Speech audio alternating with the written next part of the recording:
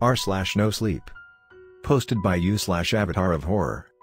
I found a book that does not exist. I found a book that does not exist.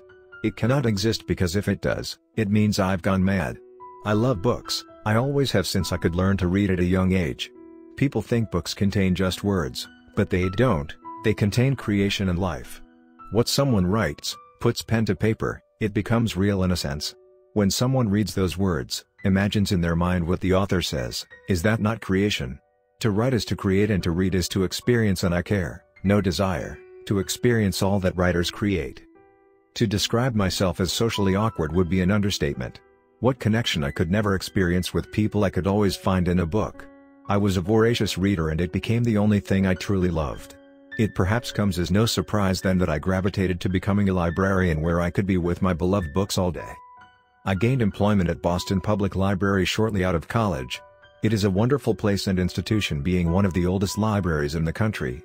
Where I found my home though was in the sub-basement floors, a role few fought me for. Row upon row, stack upon stack, of old and priceless books from around the world and time exist there. That smell of old books greeted me every morning, the smell of knowledge and creation and time was a scent few enjoy but myself. We had recently received a batch of very old and unidentified books from an anonymous donor that I was tasked with cataloging. The box that arrived was ornate and baroque in style with a thick layer of dust and grime caking the outside. It had no discernible writing and other than an air of gaudiness was unremarkable.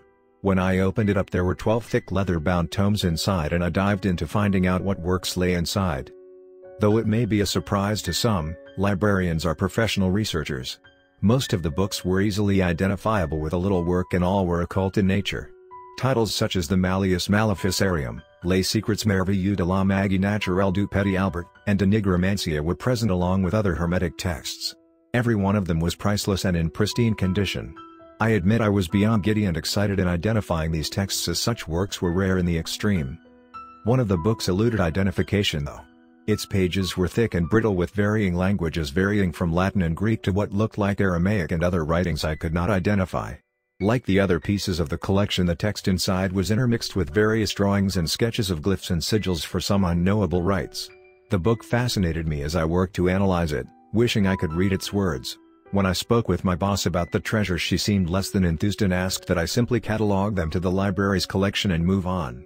I asked who had donated the works and my boss shrugged and said it was apparently some heir who received it and wanted nothing to do with it. I then told of the undefined book and she hand-waved me away saying not to waste too much time on it. I called colleagues at the Ritman Library in Amsterdam which has a considerable occult collection but no one could assist me in identifying the book. They told me whatever I had in possession was not known to them.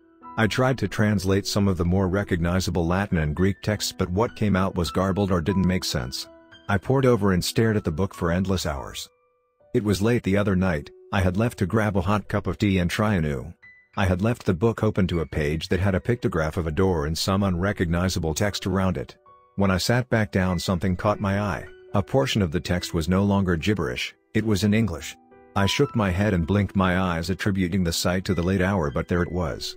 What's more, more text on the page now read in English.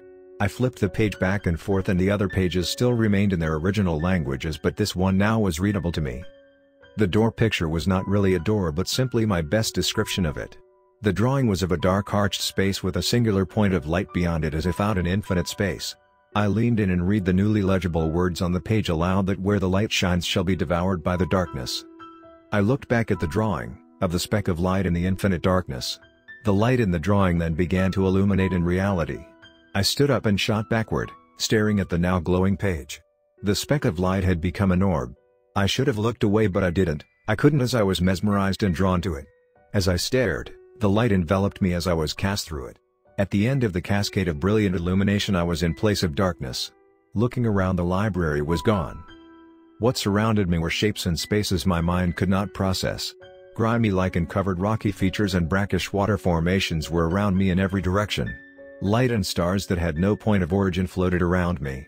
The non-Euclidean nature brought me to my knees in panic and despair as I wretched. There was no sky and no ground to speak of.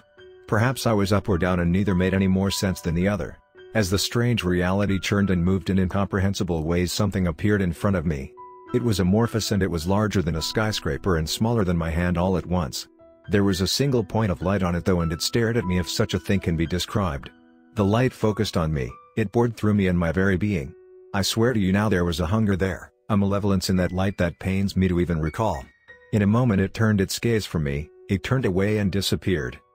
The kaleidoscopic reality then swirled again in front me as the impossible space molded to a single point of darkness. I blinked and I was back in my chair in the basement of the library.